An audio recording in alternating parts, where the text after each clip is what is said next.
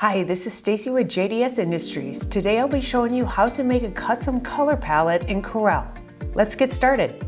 All right, so we're gonna start with like, just we're gonna do like a one inch box.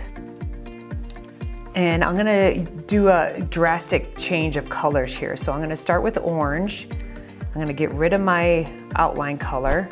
I'm just gonna copy and paste that, move that over. And now I'm gonna just change that to purple.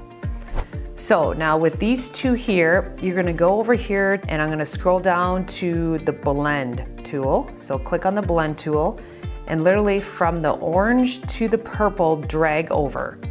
And that's gonna make a nice variety of colors. So from there, you're gonna go up to your um, property bar and up in the steps area, this normally says like a different number, but you want it to say 60 because that's gonna give you a, a, that many different swatches. So change this to 60. And now with all these selected, we gotta break them apart and then ungroup them. So for doing that, I'm gonna do Control K and then Control U.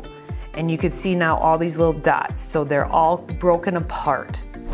Now from this point, you have them all selected. You're gonna go up to your Windows tab, scroll down to Color Palettes, create palette from selection. And then from here, you just go ahead and name it.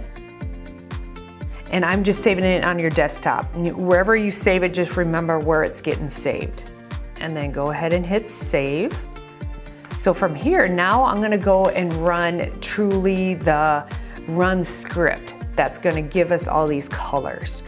So to do, to do that, I need to go up to Tools, to Scripts, Run Script, and when this comes up, the Run macro, come down here, click on here and go Color Chart Creator. Click on that. And then once you have that selected, hit Run. Now this is gonna come up and this is where you're gonna choose your, um, the one that you just created. So go ahead and just hit open and go and find that file. So my file was purple to orange. So select that and then hit open. Now just verify down here where it says spacing that it says five. And then once you have those two things good, go ahead and hit okay.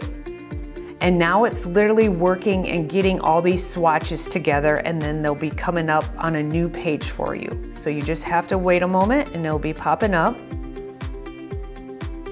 And here you go. Here's all your selections of all the colors between the orange and the purple. And the really cool thing about these is then if you really zoom in, you could see exactly the RGB breakdown of all these colors. For more information, give us a call on the number below or visit us on our website. Thanks for watching.